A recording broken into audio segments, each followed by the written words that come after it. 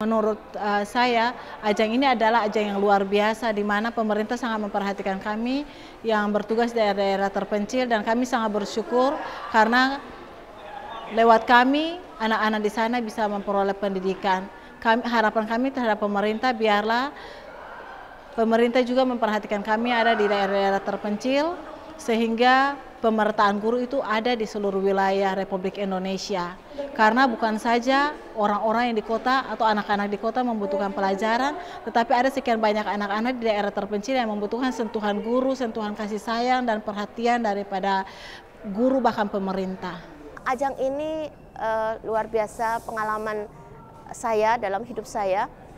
Perlu uh, kegiatan ini terus dilaksanakan karena uh, dengan kegiatan ini saya dapat merefleksi diri saya sendiri. Saya juga bisa uh, belajar juga dari orang lain apa sebenarnya yang sudah teman-teman lakukan oleh kepala sekolah SMK di uh, provinsi di seluruh Indonesia.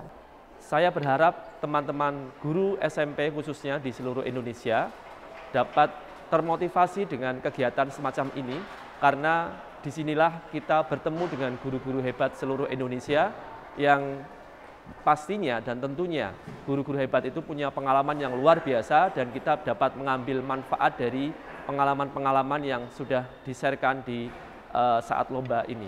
Harapan saya tendik mulia karena karya. Kalau kita sebagai tenaga kependidikan menjadi ingin menjadi mulia, maka kita harus berkarya dulu. Mari teman-teman yang ada di laboratorium, baik yang sebagai laboran atau yang sudah menjadi peranata laboratorium pendidikan, mari kita berinovasi dan berkarya secara kreatif. Insya Allah nanti kita akan menjadi mulia. Ingat kita bekerja tidak hanya untuk diri kita sendiri, kita bekerja untuk anak didik bangsa kita sendiri. Untuk teman-teman pengawas khususnya pengawas SMA, manfaatkan kesempatan yang ada di setiap tahun ini yang diselenggarakan oleh Direktorat uh, selagi kita masih bisa, kita upayakan untuk bisa memanfaatkan peluang yang ada. Dalam arti kita bisa mengikuti lomba. Dan dari situlah kita akan dapat pengalaman dan dari situ pula lah kita akan banyak memperoleh manfaat. Di antaranya kita tahu kekurangan kita, kita juga tahu mana yang sudah kita lakukan dengan baik dan dari situlah kita akan mampu meningkatkan profesionalisme kita mengarah ke hal yang ideal sesuai dengan tugas pokok kita berasal dari teman-teman lain dan juga banyak pihak.